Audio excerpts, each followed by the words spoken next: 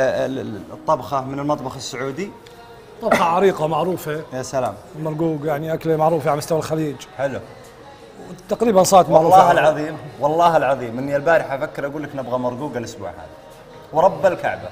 وصارت الحمد لله. الحمد طيب لله. آه طبعا المرقوق بيعتمد على إنه تركيز يا شباب. طبعا مرقوق أتوقع كلكم تعرفونه أول شيء راح نقول المكونات. حلو. يفضل إنه يكون بلحم متوفر عندنا دجاج جميل. الدجاج الخضار المنوعه الباذنجان الكوسة الجزر البطاطس القرع بصل الفلفل الحار لومي بهارات مشكلة. جميل. مثل بهارات الكبسة تقريبا. بس تعتمد على إنه لازم يكون فيها نكهة اللومي. حلو. يعني هي الأكلة آه، نكهة إيش؟ اللومي الأسود هذا. اللي هو ال- ال- ال- الفلفل. إيه في ناس بتطحنه وبتحطه على الوجه و أو الآن- الليمون. الآن نحن راح نطبخه مع ال- مع الطبخة نفسها. حلو. أول مرحلة راح نقطع الدجاج. معي أنتم ولا معك؟ معك نقطع لا الشباب مع أبو ظهير. حياك الله. كيف؟ الله يسعد هالوجه. الله يرحبك يا مرحبا. كيف حالك؟ المرقوق. موجودين؟ كيف الحال؟ كلش تمام؟ هلا خليك تساويها الله يسعد هالوجه. والله ما حبيت إلا اللي يحبه كلش تمام يا رب؟ لك الحمد. شرفنا استريح يا حبيبي. هلا والله. ترى الطبخة مرقوقة اليوم. ترى زينة للكتف يوم كتفك يوجعك أنت.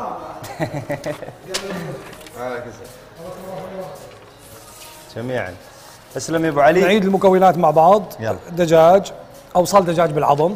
حلو. الخضار باذنجان بطاطس كوسة جزر قرع آه، طماطم بصل. فريدي قلم لهم آه، صلصة الطماطم فلفل أحمر حار واللومي والابزار مشكل. يا سلام.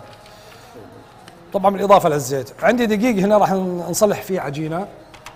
آه، أول حاجة راح نحط الدقيق بصحن مفتوح.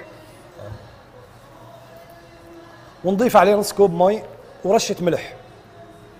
رشة ملح يعني بثلاث أصابع الأمامية بتاخذ رشة الملح تعملها. سلام. بس ما عاوز ملح كثير بعدين؟ تفتح فتحة بنص الدقيق فتحة بالنص. ها وبتصب نص كوب المي وبتحركها. كل ما احتاجت مي بتحركها وبتعجنها حتى يتكون عندك عجينة متماسكة. متماسكه سلام. وبتعجنها زيادة بعدين بتغطيها وبتريحها بالخزانة 10 دقائق إلى ربع ساعة ليش عاد بالخزانة بس بالخزانة ما بيكون في هواء بارد نحن بدنا هواء جاف أو رطوبة يعني شوي جميل. عشان تتخمر لأنه عجينة المرقوق ما فيها خميرة يا سلام يعني. أحط أحط موية بعدين أحط تحط المية رشة الملح رشة الملح على الدقيق. موية كوبين. تفتح فتحة نص كوب. انت حتبدأ بنص كوب وتعرف انت شو محتاج. وتزيد إلى تماسك. حتى طيب. تصير العجينة متماسكة ورخفة شوي. آه، قبل غاز قبل احطها على النار. قبل قبل النار. نحن عم نحكي بالعجينة الحين. إيه. حطيت واحد من الشباب أنتم واحد منكم راح يصلح العجينة. والثاني حيقطع الدجاج لأوصال ويقطع البصل ويسوي حمسة البصل مع الدجاج والطماطم. والصلصة. تمام؟ كأنك عم تسوي دجاج زي بالكشنة. أيوه. بتضيف البهارات. بيكونك أنت منظف الخضار مقطعها قطعة كبيرة الخضار. أنا عاوزة قطعة كبيرة الخضار مش. قطع صغيرة شرايح شرايح كبيرة. إيه. نسوي العجينه مفهوم شباب؟ معنا يا نايف انت عزيز. معنا ولا ضدنا؟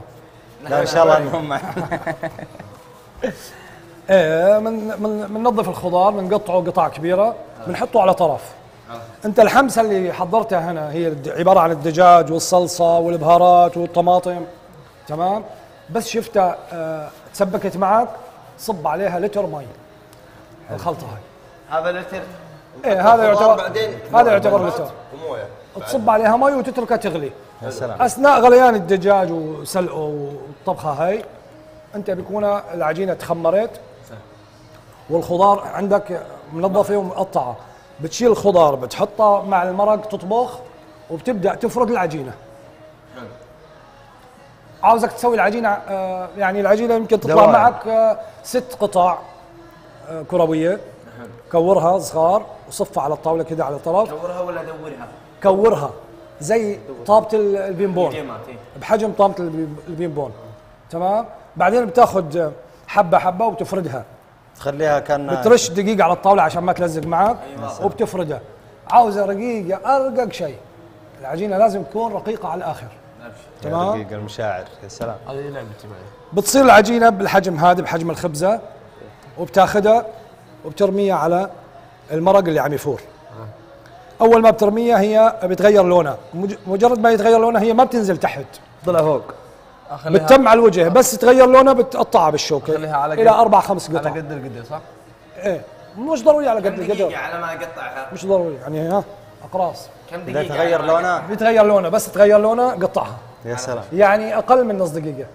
أقل. حلو. إيه. نعم. والثانية نفس الحركة. ولحقها بالثانيه والثالثة والرابعة بعدين بس اللي خلصت العجينة. بتغطيها وبتخليها على نار هادية بتزبط ملحها. بس آه، مع المرق بدك تنزل حبتين الفلفل وثلاث حبات اللومي مع. المرق يطبخوا جميل. بدون ما تكسرهم بدون ما تفتحهم. نحن ما عاوزين الأكل تصير سبايسي حارة. هاي كان أيوه أيوه. كم قطعة تقريبا؟ آه كم قطعة العجينة؟ العجينة أنا أتوقع هي تطلع معك آه ثمان قطع. ثمان ثمان حاول كور تخليها ثمان كور إيه. يعني طيب كيف كيف أبو علي يقطعها بالشوكة وهي في القدر؟ آه لما بتكون مفتوحة وهي على وجه القدر بيمسك الشوكتين بيفتح فتح. يقطع كده بالطريقة هاي. تقطيع بعد ما بعد ما تخلص من الغاز من النار صح؟ إيه. بعد ما تضبط لا لا بعد ما يتغير لونها أول ما تحطها. ما بتحطها على وجه المرق بتغير لونها خلال نص دقيقة أو أقل بتغير لونها بتروح مقطعها بالشوكة. ثمان قطع حلو. لا العجينة هذه كلها حتكورها ثمان كور. عادها على الغاز. سلام. بدون غاز. على طرف. بدون طبخ عجينة. طلعها من هنا. تمام. هناك. إذا خمرت تجيب تفردها وتقطع. بعد ما تتخمر بيعرف سياف عرف الموضوع. أنا عم بتكلم أثناء الطهي. بتحط العجينة المفروضة اللي فردتها بالشوبك في الإدام اللي بنسويه. أيوه بالايدام مع الخضار. ما بتنزل العجينة. انتبه ملاحظة. ما بتنزل العجينة حتى يستوي الخضار. حلو. تعال تتأكد إنه استوى الخضار بتنزل العجينه العجينة ما بتتحمل طهي زيادة. كمل خضار يعني, يعني العجينة بالكثير 10 دقائق طهي كلها بعد ما يعني- تنزلها على نار هادية. وحتى الخضار 10 دقائق ربع ساعة. ابو علي إيه، بالضبط. العجينة ما راح نطبخها إلا في القدر الخضار. إيه نعم. إيه. تمام. طولنا يا أبو علي. لا لا العجينة ما تطبخها لا لا. الخضار العجينة الكره بتفردها وبتنزلها على المرق اللي عم يغلي هنا. طيب الطحين ده اسويه هنا صح؟ الطحين- العجينة هنا بتسويها. أيوه. بدون نار. خلاص يا أبو علي. خلاص. أي سؤال يا ص- سياف بن سعود سلامتك يا حبيبي. أي سؤال يا نايف؟ ابد ابد عزيز سؤال يا عزيز خلي الفاكهة عنك يا عزيز. بجيب لكم بجيب بجيب لكم. طيب كم تحتاج وقت يا أبو علي؟ 50 دقيقة. تحتاج 45 دقيقة. طيب جهزوا لنا ال timer 45 بدكم دقيقة توزعوا الشغل بينكم أنتم الفريقين. شامل كل حاجة؟ آه، ال timer. جاهز يا شباب؟ إيه العجينة عليك ها. إيه قد سويت اعطونا ال timer على الشاشة. خلوا الشباب يبدون طولنا في آه، المقادير. ثلاثة اثنين واحد. بدأ ال timer يا شباب. شدوا حيلكم.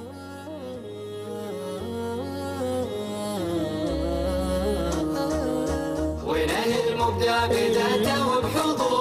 والجاهل يطور حياته دايما سكر